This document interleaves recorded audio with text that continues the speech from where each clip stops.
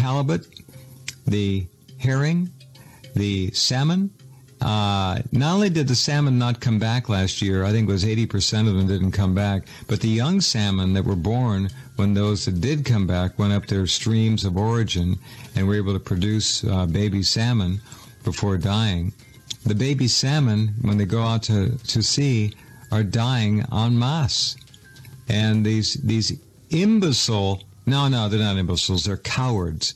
These cowardly marine biologists will not say the R word. They say, well, something's causing acidification. Uh, there's a virus. There's, they're lying.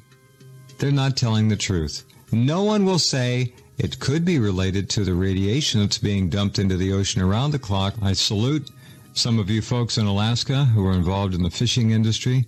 Uh, it took the fishermen up there to demand that the fish be tested for radioactivity. Not all the captains, just a few, but some did.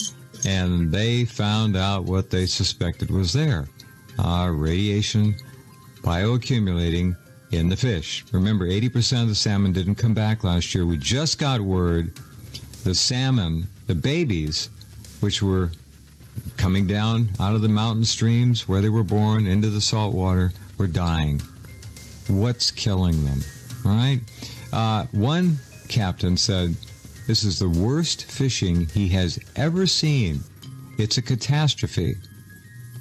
Crabs, by the way, up there have turned blue. Uh, the herring, the cod, halibut, pollock. He said that the catches are literally dropping off a cliff. There aren't any. They're gone. They're dead. Prove me wrong. They're dead. They didn't migrate down to Chile. They're not hanging out down there, having a good time. They're dead. Uh, this is this is the death of an, the biggest ocean on the planet, the greatest catastrophe. Japan should be held fully accountable. So should General Electric. So should Toshiba or anyone else involved with this this uh, this nightmare. All American of them. subcontractors too that Service TEPCO is just a, an umbrella company. Of course. All, all, of the all of the companies that actually provided all of the technical and other support were all American companies, basically. Yeah, a lot of the crabs being caught in Alaska, they're all they're all dead. They bring them up and they're dead. So I mean, this is this is not a joke. This situation uh, in Alaska, which was the breadbasket for fish and seafood, you're looking at right now, ladies and gentlemen, the death of seafood. In fact, it's dead. Look at the. Look, I'm sorry to say this. Look at the. Look, I don't eat meat. I don't believe in it. I, I, I don't touch it. Well, what's the name of the chain? Red Lobster. They're toast. They're going to have to start advertising that their fish comes from the Atlantic, or they're going to be out of business. It's just going to happen. Or the deep South Pacific if they're coming from Argentina. Uh, what happens is all these oceans are connected now what people should understand is what happens if you let this continue to spin out over, say, the next 5, 10, 20 years. Even if nothing else happens, no war starts, no economic collapse, no thinning of the ozone layer that kills the crops and starts forest fires and destroys the oceans. So we're not even going to add other factors. What the first thing that happens is weakening of the what we call herd immunity. And it also increases the rate of mutation. So if you have someone in Japan or that's exposed and carry, say, a version of, say, the H5N1 or H1N1 or H7N9, the new Chinese or Asian superflu, uh, that virus is going to be, because the host is under stress and has a free radical load, is going to mutate at an exponentially faster rate. Right. So we don't even need a bioweapon lab. The bioweapon nope. lab are literally the uh, the carriers, the people, and the animals now exposed to these things. So mm-hmm. you could have viruses emerge from the ocean. You could have mm-hmm. viruses emerge that have the human receptor binding domain that are in people populations that are now exposed to radiation. Radiation levels at one of Fukushima's nuclear power stations is at its highest level since the tsunami triggered meltdown nearly six years ago. Tokyo Electric Power, or TEPCO, is reporting that atmospheric readings inside Daiichi's reactor number two are as high as 530 sieverts an hour.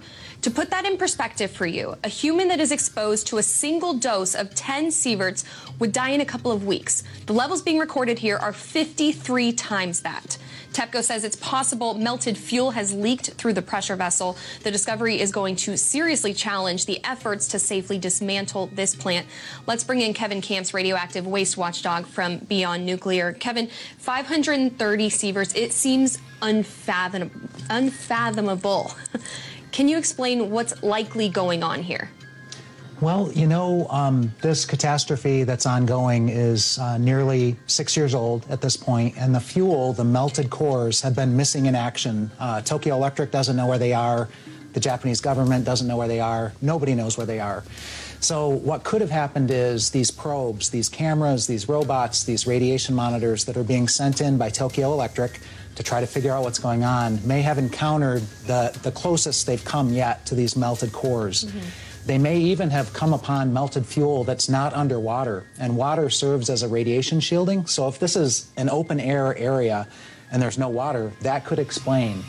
But what you've got are melted reactor cores. And of course, human beings can't be in operating atomic reactors. They also can't be in this area where there's a meltdown. Mm -hmm. And there's also imagery. Uh, it looks like a melt through of a metal grate. And so it all stands to reason that the, the cores melted through the reactor pressure vessels and down into the containment structures, right through that metal grating. And it's not unexpected, but we still don't know where the cores are. Mm -hmm. And, you know, there's claims that, oh, it's all contained, don't worry about it. There's actually, I mean, it's indisputable that there's a, a daily flow of radioactively contaminated groundwater into the ocean. The figure is something like 80,000 gallons per day of relatively low level radioactive wastewater. And then you've got those uh, storage tanks. We're talking 800,000 tons of highly radioactive water being stored in tanks because every day they pour 100 tons of water on each of these three melted down cores. Mm -hmm. And sometimes they lose those tanks. They leak, they overflow. So it's an ongoing catastrophe. So you're saying that the contamination in this case could leak out, that that's a possibility? There is some leakage on a daily basis, mm -hmm. and then they try to capture as much as they can and contain it in these storage tanks, which they sometimes lose, whether during a typhoon or through human error. They've had overflows. So, you know, there are many shoes that could still drop at Fukushima Daiichi. Uh, one of the ones is the high level radioactive waste storage pools that yeah. aren't even inside radiological containment. They don't have all of that spent nuclear fuel transferred to a safer location in a couple of the units still.